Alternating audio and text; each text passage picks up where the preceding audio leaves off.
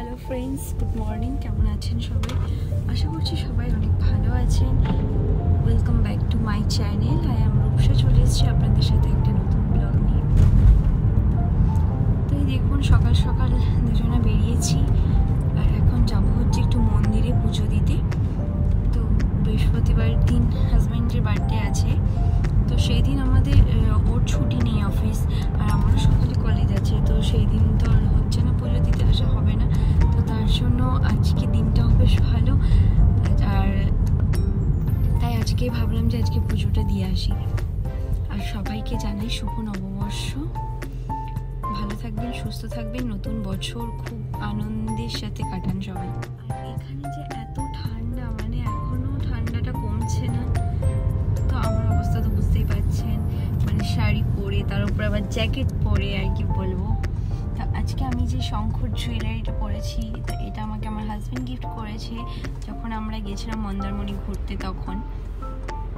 তো এটা ওর খুবই ফেভারিট তো তাই ভাবলাম আজকে এটাই পরি। তো আপনাদেরকে পুরোপুরি ভিডিওর লুকটা দেখাবো, তো বলবেন কেমন লাগছে এটা পরে আমাকে?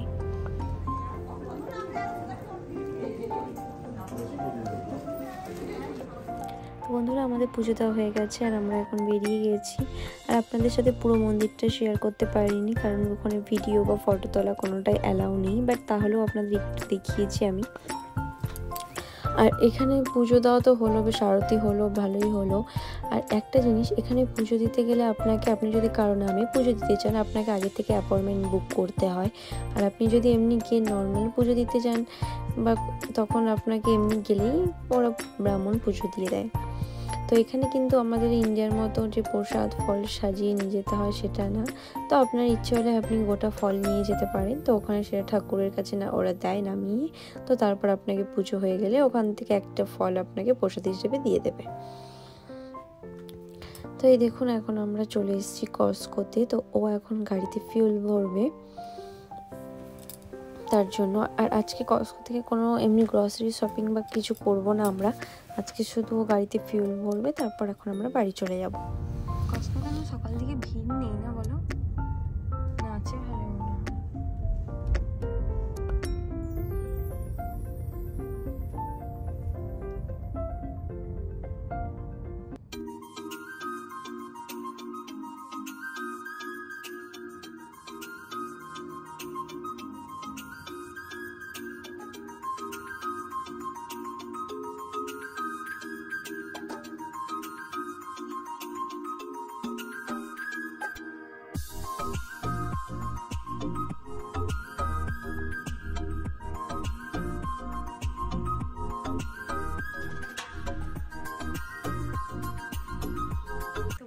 এখন বাজে সাড়ে আটটা আর আমি তো রাতে রান্না করা শুরু করে দিয়েছি।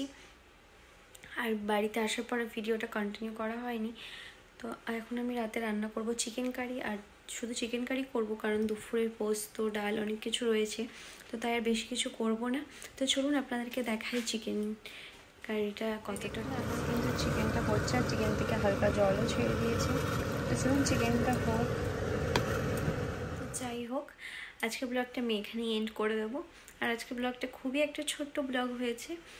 তো আমার ব্লগ যদি আপনাদের ভালো লেগে থাকে like comment share and subscribe করবেন চ্যানেলটিকে। টাটা।